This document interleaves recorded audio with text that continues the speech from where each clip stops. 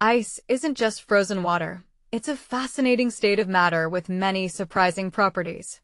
Did you know ice floats on water? This is because ice is less dense than liquid water. The unique crystal structure of ice causes it to expand as it freezes, unlike most materials. This expansion can cause powerful natural effects, like breaking rocks or even roads during winter.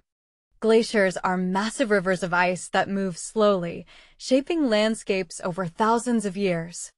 Ice can preserve things perfectly because it slows down chemical reactions and biological processes.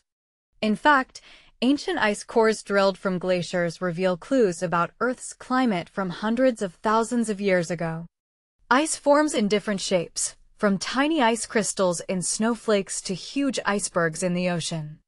Each snowflake has a unique pattern, formed by the temperature and humidity it experiences as it falls. Some animals have adapted to survive extreme cold by using ice as insulation or camouflage.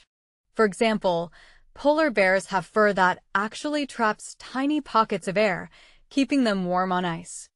Antarctica holds the largest amount of ice on Earth, containing around 60% of the planet's freshwater. Underneath this ice, ancient lakes exist that have been sealed off for millions of years, hinting at new life forms. Ice isn't just on Earth. There's ice on other planets and moons, like Europa and Mars, intriguing scientists worldwide. Scientists study ice to better understand climate change, since melting glaciers affect sea levels globally. Melting ice also impacts ecosystems and human communities relying on freshwater sources. Ice isn't just cold, it's full of stories about Earth's past, present, and future that we're still discovering.